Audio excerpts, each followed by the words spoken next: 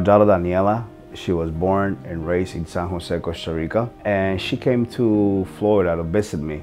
December 2019, I saw there was a bump on her neck.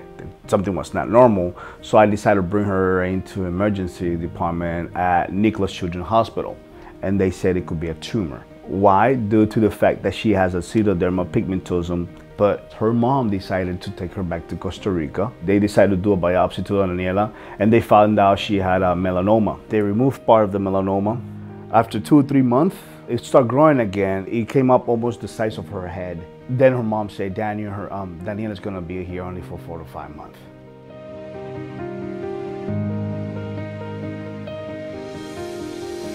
Imagine they tell you that your kid's gonna die and they're not even here. You cannot even see them. One of my prayers, I say, God, take out of my life one year of life and give her to her. If you're gonna give me 60 years, give her 30 years. I don't wanna live anymore. Just give her the years that she needs. Take it off of me. Daniela has an underlying condition called xeroderma pigmentosa. And uh, basically, she, her body lacks an enzyme to uh, fix any kind of skin damage that occurs secondary to ultraviolet light. And so because of that, she is uh, greatly predisposed to develop uh, forms of malignancies in the skin. It's a rare skin condition and it affects one in one million people. Dijeron que no se podía hacer nada, que no querían operar, que es un cáncer muy peligroso, uno de los más peligrosos, un melanoma. Fue llegando acá que mi papá me dio la noticia de que otros doctores me iban a ver. Yo al inicio la verdad no quería, porque yo dije la misma respuesta, otra vez la misma decepción. De milagro de Dios que sí pudieron hacer algo. I was planning to take her to um, Disney World, but everything was shut down as well. And my wife and my sister-in-law said, Daniel, why don't you take Daniela to Nicklaus Hospital again? I said, why not? So doctor said, we have this treatment that it could be good for her, but we're not sure. Everything, it would depends on what her molecular tests come back to us. They came back, doctor was so happy when he said, Daniel, I gotta tell you that everything matches. Your daughter's good for the treatment.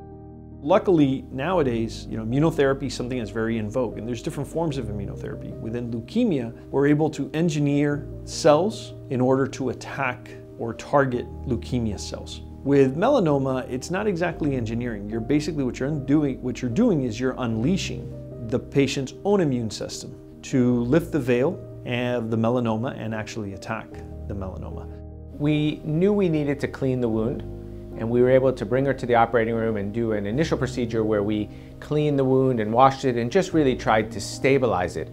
And then once we were able to do that and get things clean, we then went back and we were able to really do what was called a debulking procedure, where we went to remove as much of the tumor as we possibly could to reduce the tumor burden, allowing the medications to have a greater chance of succeeding.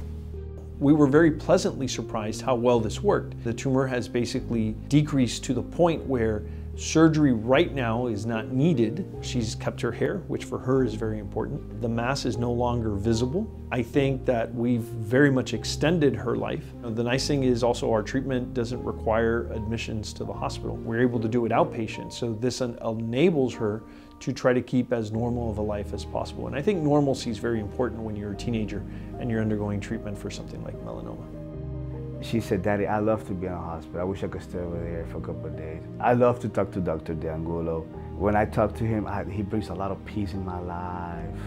And he's like an angel for me. He said, yeah, he, he is an angel for you.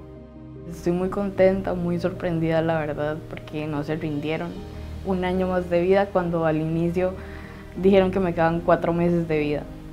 Y ya pasaron ocho meses y aquí estoy. gracias a Dios. Entonces, súper, súper bien y agradecida con Dios y con todos los de Nicklaus Children's Hospital.